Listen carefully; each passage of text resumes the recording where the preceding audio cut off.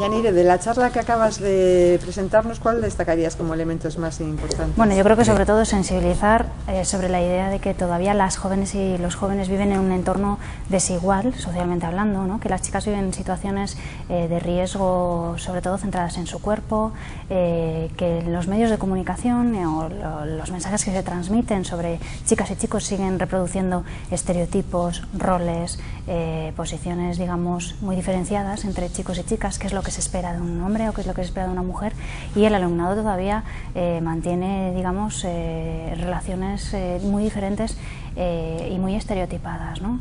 eso como un poco como marco de, de, lo que vemos en las propias redes sociales y de cómo se reproducen esas desigualdades, cómo las chicas y los chicos se relacionan a través de las redes sociales, reforzando mucho un modelo muy claro de masculinidad y un modelo de feminidad. Eh, y sobre todo yo creo que llamar un poco la atención sobre las situaciones que viven las chicas jóvenes hoy en día, ¿no? para quitarnos un poco esa idea de, que la igualdad está ya conseguida, no tienen ningún problema, que son completamente libres, que hacen lo que les da la gana, ¿no? plantearnos también un poco que, en qué situaciones reales viven, qué consecuencias tienen tanto en el ámbito laboral como en el, en el ámbito de sus carreras profesionales, de sus vidas, ¿no? qué resultados tienen cuando esas eh, chicas eh, realmente son, van creciendo y van, van dándose cuenta de que esta sociedad la sigue tratando de una forma diferente. Con respecto a las redes sociales, ¿ves mucha diferencia en el trato a las chicas y a los chicos y qué papel juegan? Bueno, sobre todo en las redes sociales lo que se ve o lo que hemos podido ver en el último estudio que realizamos centrado en chicos y en, y en, el uso que hacían los chicos y las chicas es eh, un uso muy diferenciado, ¿no? mientras que los chicos utilizan las redes sociales más desde un ámbito del ocio, eh, para informarse o para eh, actividades deportivas o entretenimiento y también para ligar, eh, las chicas las utilizan de una forma en las que se exponen más emocionalmente hablando, es decir, que nos cuentan eh, como si fuera un diario personal eh, lo que les está pasando en el día a día, ¿no? desde la emoción positiva a la emoción negativa, del subidón de cuando estoy enamorada al bajón de cuando me dejan. Y, en ese un poco subidón y, bajón, ¿no?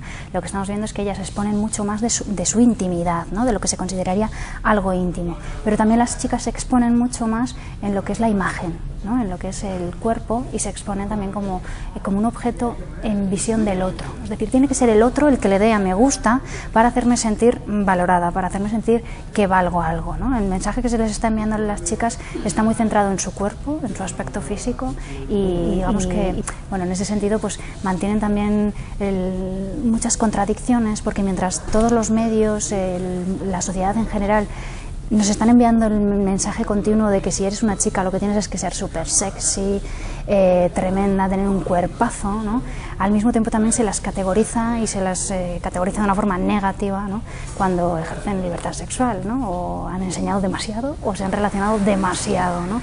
Entonces viven mucho en ese límite entre eh, tengo que ser lo que la sociedad me exige, que es un cuerpo, pero luego si hago con mi cuerpo lo que quiero, eh, me llevaré también insultos, y etcétera, etcétera. También es cierto que en las redes sociales las chicas eh, viven mucho más acoso, relacionado también precisamente con, eso, con el contacto de desconocidos ¿no? o con la utilización de sus fotografías o de contenidos, digamos, sexuales para humillarlas, etcétera, etcétera. ¿no? Cuando nos hablan de sexting, de ciberbullying, es importante también poner el foco en que una buena parte de, esta, de estas personas que son eh, receptoras de violencia y acoso cibernético son chicas. Y especialmente por ser chicas eh, y por estar en las redes sociales como chicas se exponen a, unas eh, violencias de género.